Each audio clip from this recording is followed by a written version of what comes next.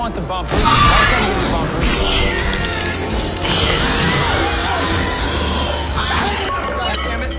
We have a new student joining us today. Hey, dude. Welcome to the suck. Mom. Haven't you been drinking? Oh.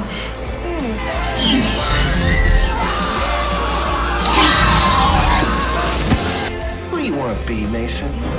What do you want to do?